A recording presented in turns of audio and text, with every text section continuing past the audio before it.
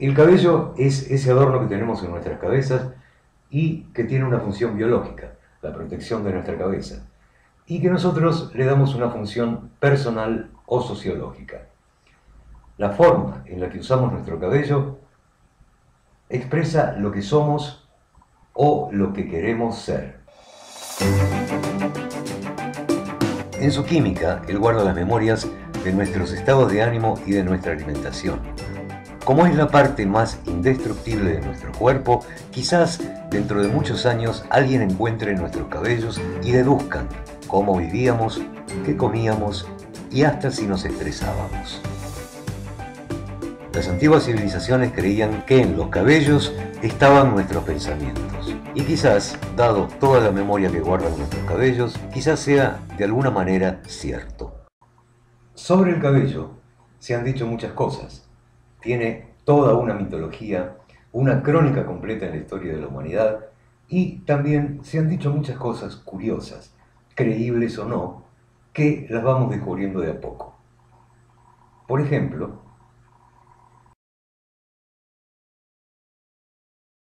Existe la creencia popular de que recortarse el pelo lo fortalece.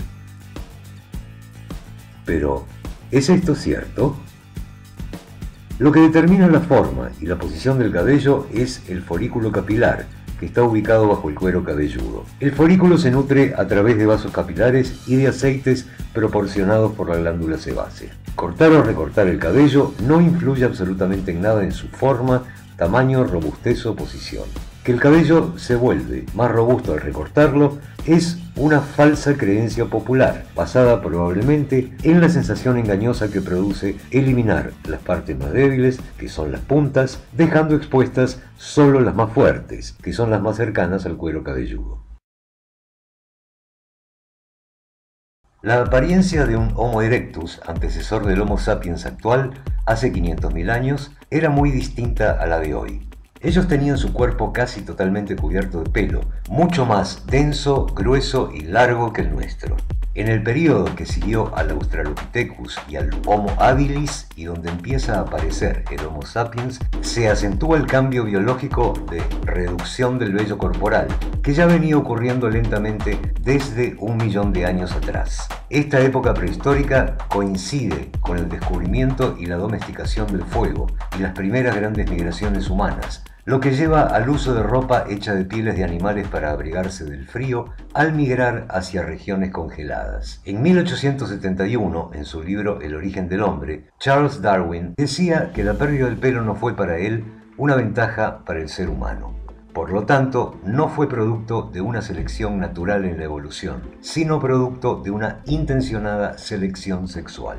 Al sentirse más atraídos los hombres por mujeres con poco vello en el cuerpo, pues las veían más limpias, es decir, con menos parásitos o impurezas en la piel, las elegían más que a otras. Y esta característica de poco vello corporal se fue transmitiendo por herencia a hijos e hijas. Esta es la hipótesis de Darwin.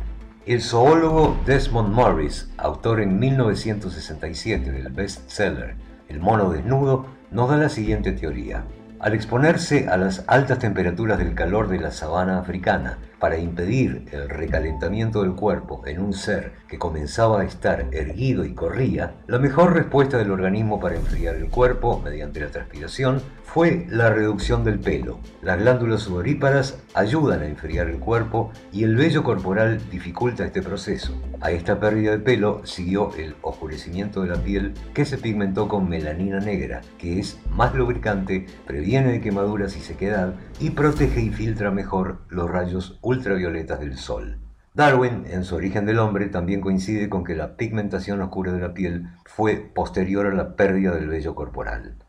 Otras teorías, como la de los profesores Mark Pagel y Walter Bodmer de la Universidad de Oxford, explican esta decadencia del pelo en el cuerpo en la evolución humana como una maniobra evolutiva de selección natural para reducir la carga de parásitos como pulgas, piojos o garrapatas, que pueden ser portadores de enfermedades como el tifus. Obviamente, los parásitos como los piojos prefieren las zonas abundantes en vello corporal, Y en este punto retoman la sugerencia de Darwin acerca de la antigua preferencia por las mujeres con poco vello en el cuerpo, pero plantean que una selección natural es impulsada por una selección sexual. Al ocurrir este cambio en el cuerpo, es necesario cubrirse con pieles de animales para protegerse del frío.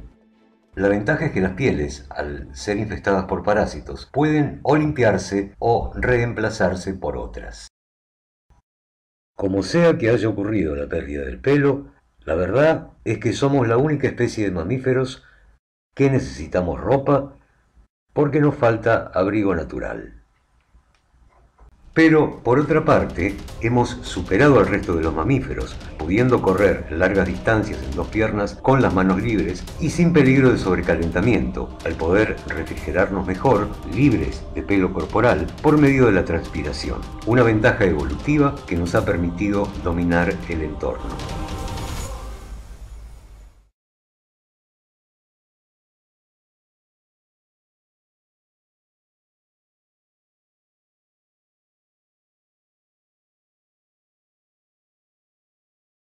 Un hombre y una mujer de pelo negro tienen un hijo y, oh sorpresa, nace de ellos un pelirrojo. El padre se siente muy incómodo y la madre desorientada. Los padres no son pelirrojos y tampoco ningún familiar conocido. ¿Cómo ocurre esto?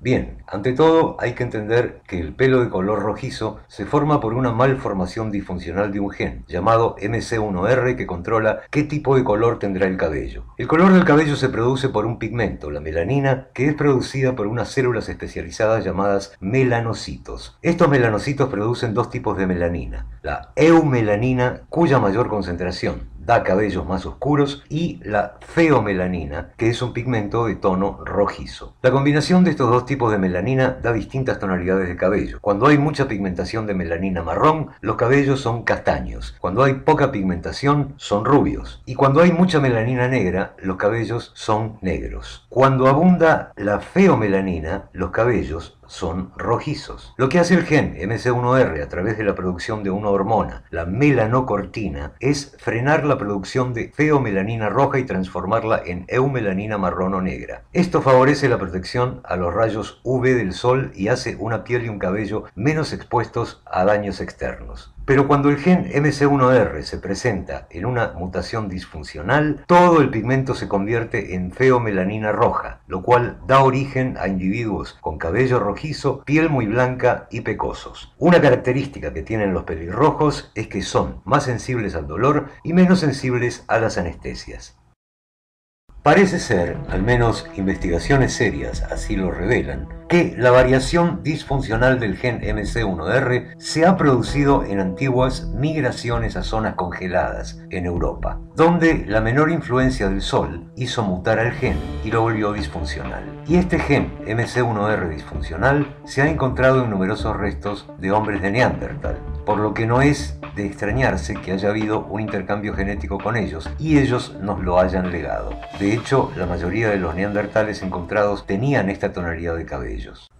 La forma estándar del gen MC1R es dominante y la variante disfuncional es recesiva.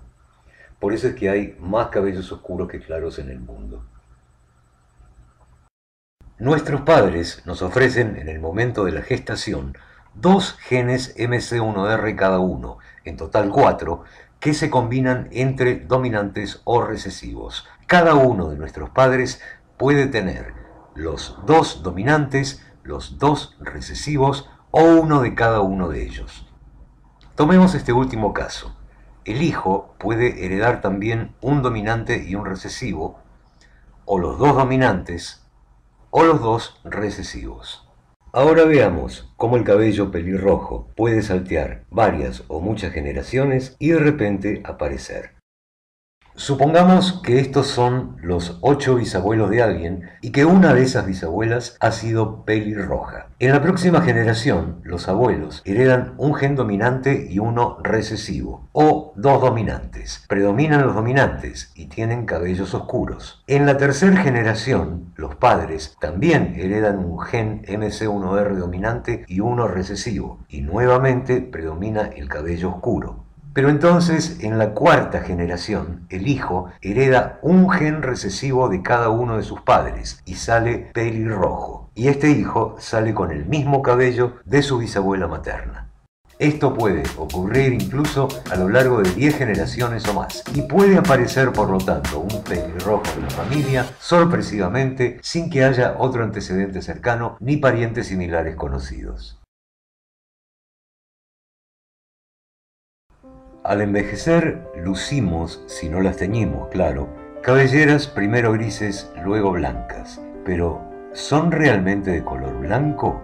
No, la realidad es que no tienen ningún color y ese blanco que vemos es una ilusión óptica causada por la reflexión de la luz. Si ampliamos los cabellos blancos, que están hechos de queratina, que es una sustancia transparente en un microscopio, lo que veremos es algo parecido a un tubo vacío transparente. No es hueco, sino que tiene queratina incolora, o sea que no tiene pigmentos que le den color. A medida que pasan los años, las células encargadas de producir melanina, el pigmento que da color al cabello, van de a poco dejando de hacerlo hasta que cesan su producción. El cabello tiene un ciclo de crecimiento, reposo y caída. Cuando cae, un nuevo cabello crece, y si ya no se produce pigmentación, los nuevos cabellos serán incoloros, transparentes o para nosotros blancos. Al recibir un rayo de luz, el pelo no absorbe ninguna frecuencia del espectro luminoso, sino que refleja juntos todos los colores, y nosotros vemos esa luz como blanca. La prueba de esta reflexión óptica es tomar un objeto semitransparente y ponerlo frente a la luz. Deja de transparentar y al no absorber ningún espectro de onda de luz, lo refleja todos juntos, mostrando un efecto de intensa luz blanca. Eso pasa también con las nubes, que las vemos blancas, pero en realidad son gotitas de agua transparente congeladas. Y con ese pelo blanco que no es tan blanco como parece.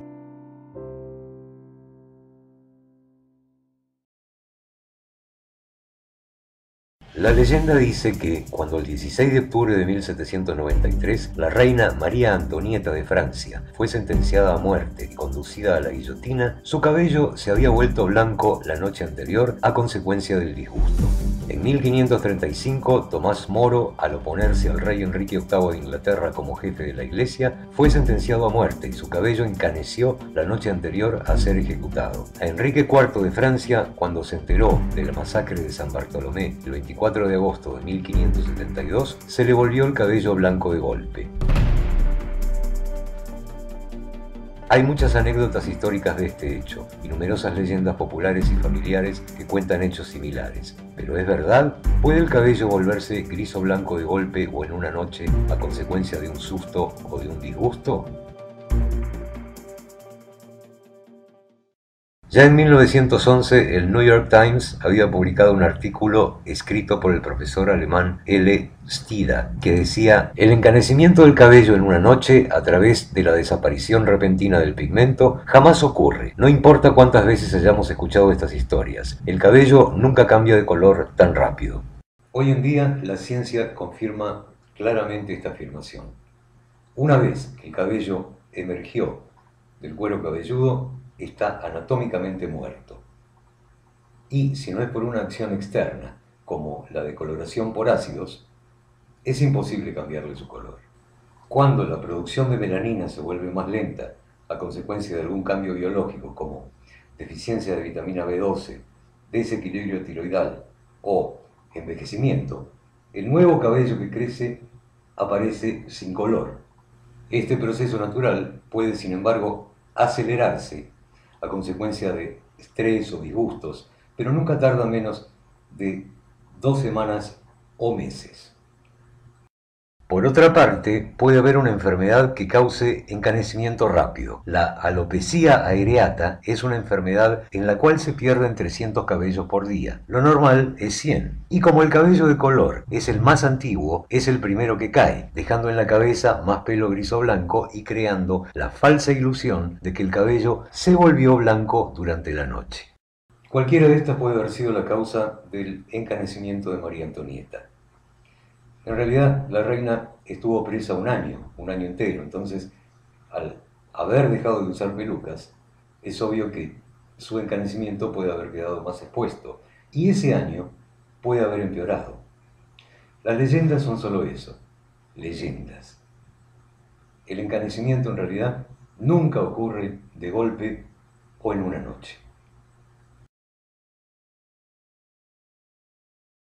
Rapunzel era una niña personaje de un cuento infantil de los hermanos Grimm que vivía prisionera de una bruja en lo alto de una torre y como tenía un cabello larguísimo lo saca por la ventana y un príncipe trepa por su cabello hasta su habitación y la rescata. El síndrome de Rapunzel es tener mucho cabello adentro del cuerpo todo nace con un desorden mental que se llama tricotilomanía, que consiste en un impulso constante de arrancarse el cabello y da muy malos resultados. Muchos de los que sufren de tricotilomanía se comen su propio pelo luego de arrancarlo, y eso se llama tricofagia. Como el pelo no se digiere en nuestro sistema digestivo, se acumula en intestinos y estómago formando una bola sólida de cabellos que bloquea el intestino y se llama tricobesoar. Cuando comienzan las molestias por tener esto en el estómago y en los intestinos, se llega a lo que se denomina síndrome de Rapunzel. Llegado a este punto, el único remedio para salvar la vida del paciente es la cirugía y luego una buena atención psicológica o psiquiátrica profesional. Sí, pero no es precisamente el sol el que causa una mayor velocidad en el crecimiento del cabello son las condiciones climáticas húmedas y calurosas. En las zonas calurosas y húmedas aumenta el flujo sanguíneo. Esto hace que trabajen más las hormonas y también hace que trabajen más las hormonas de crecimiento del cabello.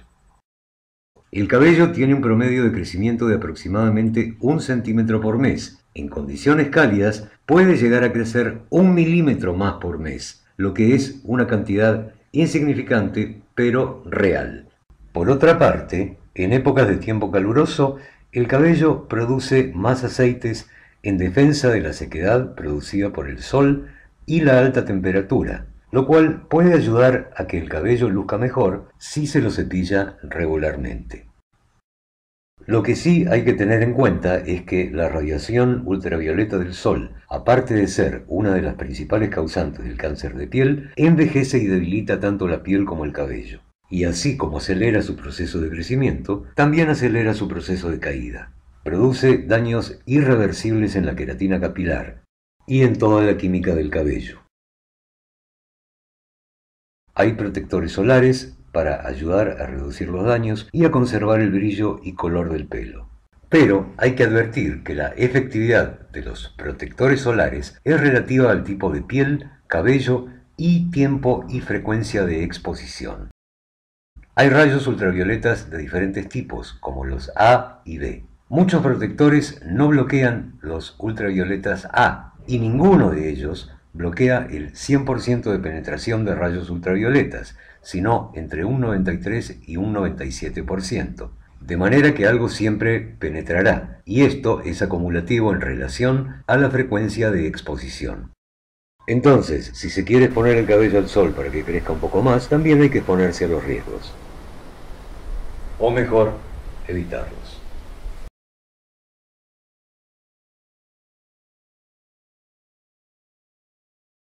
En las ruinas arqueológicas de Cajamarquilla, Puruchuco y Nazca, un equipo de arqueólogos de la University of Western Ontario encontraron restos de individuos que vivieron entre los años 550 y 1532. Analizando sus cabellos se encontró un alto nivel de una hormona, el cortisol en sus cabellos. Esto quiere decir que poco antes de morir su nivel de estrés fue altísimo. El cortisol se produce en respuesta a amenazas reales o subjetivas. Una vez liberada, esta hormona viaja por todo el cuerpo, incluida la sangre, saliva, orina y el cabello. Ese estrés pudo deberse quizás a dificultades en conseguir comida, estrés nutricional, o amenazas a la integridad física, como contiendas con sus vecinos, por ejemplo. El cabello conserva la memoria de muchas cosas.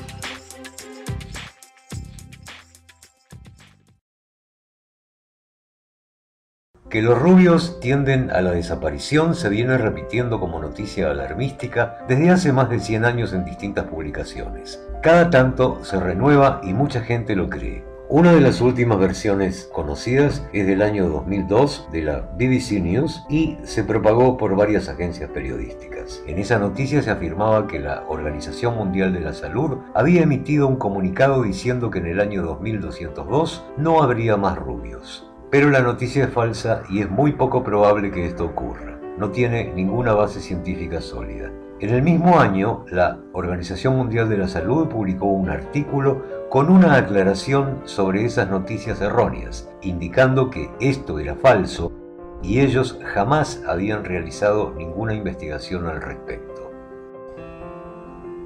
Los que divulgan estas falsas noticias en realidad hacen una interpretación errónea del papel de los genes recesivos en el organismo humano.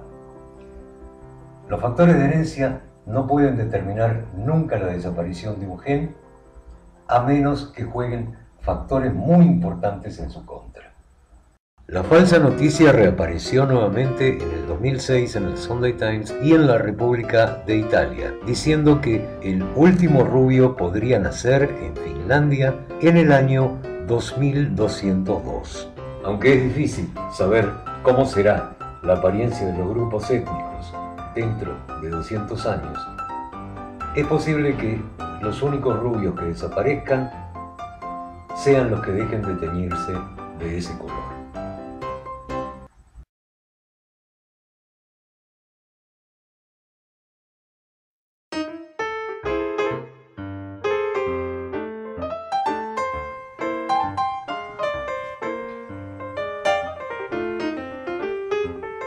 Pero ¿es esto cierto? ¿Hay realmente una preferencia por la gente de cabellos rubios? ¿Tiene mayor aceptación social ser rubio? Hay estadísticas que dicen que no es así. Pero si vamos a lo largo de la historia, pasando por los antiguos egipcios, el medioevo, el renacimiento, veremos que ha existido siempre un gran interés por ser rubios.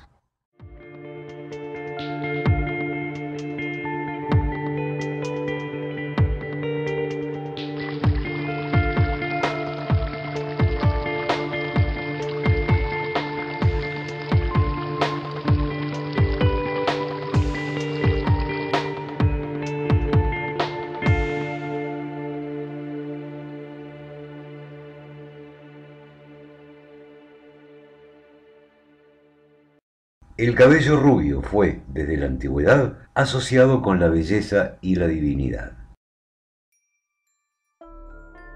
Ya desde las antiguas mitologías, griega y romana, muchas diosas eran representadas con cabellos rubios. Por ejemplo, las griegas Atenea, el dios Apolo, o Afrodita, y entre las romanas, Ceres, Diana y Venus.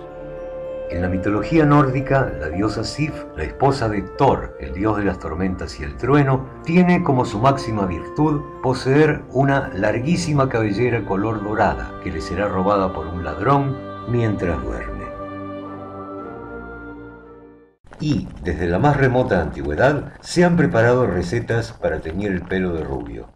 Podemos ver en sarcófagos egipcios, como el de la reina de Teferes de 2600 años antes de Cristo, una imagen de cabellos rubios, y sabemos que los egipcios teñían su cabello con hena, que les daba un color dorado rojizo. Cuando los romanos conquistan las Galias, Francia, las esclavas galas tienen mucho éxito, pues se usan para hacer con su pelo rubio pelucas para las romanas. Las romanas, más acaudaladas, rociaban su cabeza con oro en polvo, pero muchas mujeres lucían pelucas elaboradas a base del pelo que se les cortaba a las esclavas galas y germanas.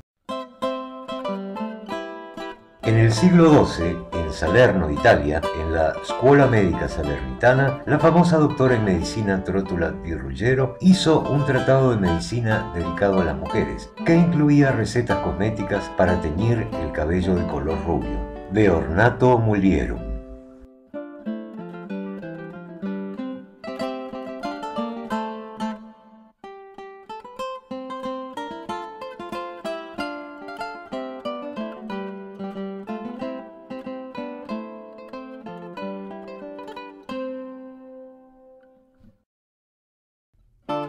Michel de Nostradamus, en 1556, publicaba sus elixires que traían varias recetas para hacer el cabello rubio dorado, no importa cuán negro o blanco sea, haciéndolo amarillo pálido sin perder su color por mucho tiempo, reteniéndolo en su integridad y haciéndolo crecer de una manera que ese color esté bajo la raíz, como si fuera su verdadero color. Hoy en día las tinturas de cabello rubio son estadísticamente las más vendidas. ¿Y por qué tanto interés en ser rubios? ¿Es mejor ser rubios? No hay nada que sustente seriamente que una persona, por tener el pelo rubio, sea mejor que otra persona con el pelo oscuro. Es obviamente un prejuicio estético. ¿Y en qué se basa? Ha habido estudios muy profundos sobre el tema. Y esto es lo que nos dice.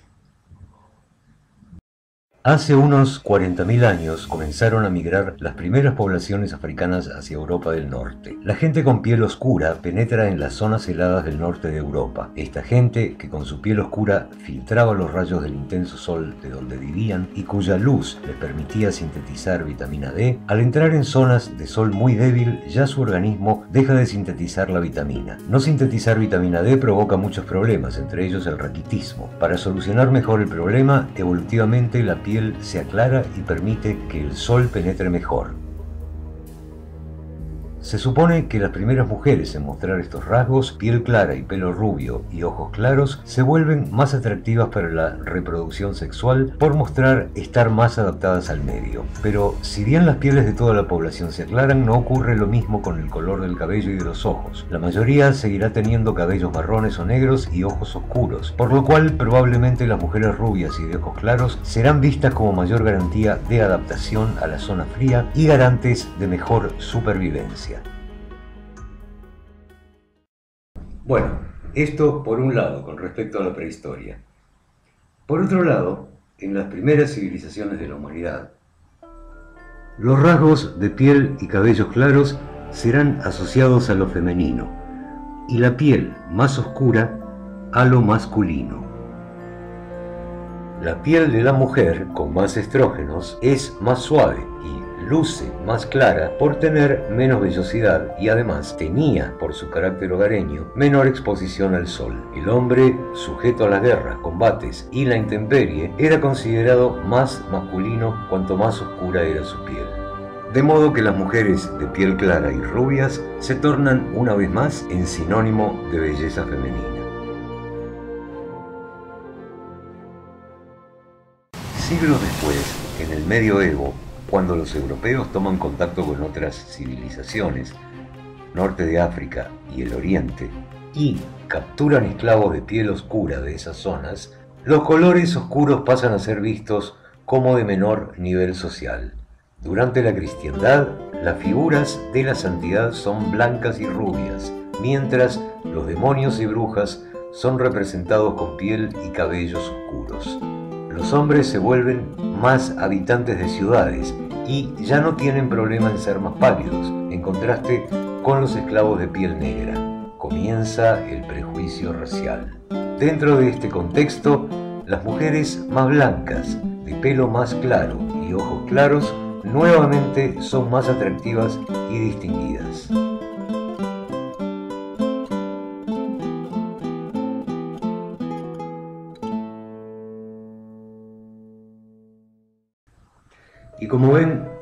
Esto no es más que un prejuicio. Un prejuicio que viene desde miles de años atrás y no tiene una causa, sino una sumatoria de causas a través de la historia. Hoy en día no es más que un prejuicio. Quizás la verdadera belleza sea un rasgo interior que se manifiesta hacia afuera. Fluye en toda la persona y no tiene colores favoritos de pelo.